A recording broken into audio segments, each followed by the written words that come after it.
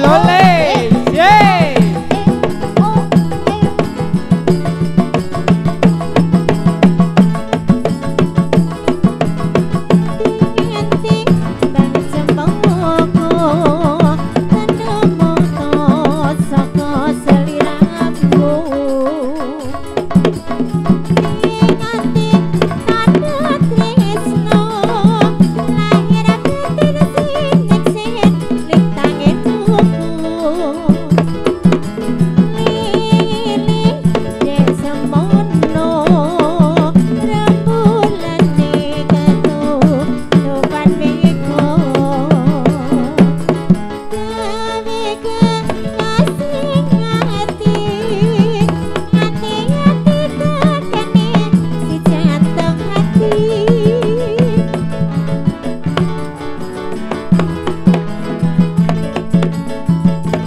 gede ngante gede sambang cempokok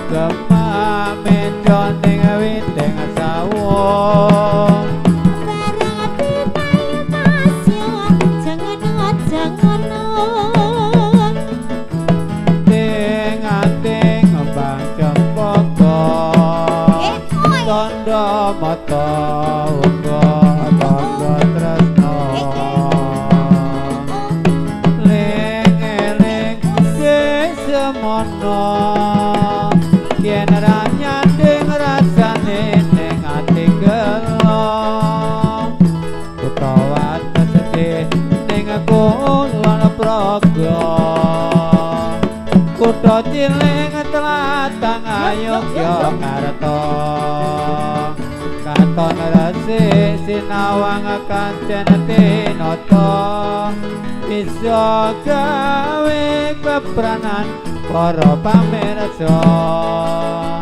Aduh eloke sesawang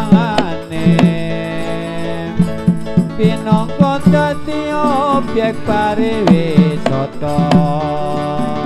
Bendungan sermo kang dadi primadonane. Yekti nyoto binangon ning kulon progo.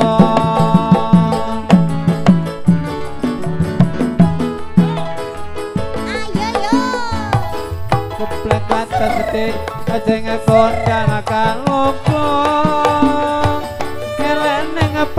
seluwasu ka prasaja.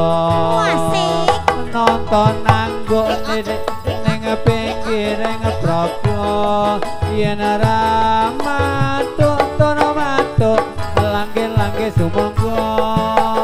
Ayo mong ning galur kok ora lewat deksa. Yen ora weruh ning ati kok delongso lunga ning kenteng kongkap penghasilan anggulane abot tenteng sayuk rukun kabeh wargane. Iya, oke masih berjaman Dolalak Putri Sri Tanjung Micil saking desa Tanjung Rejo. Pimpinanipun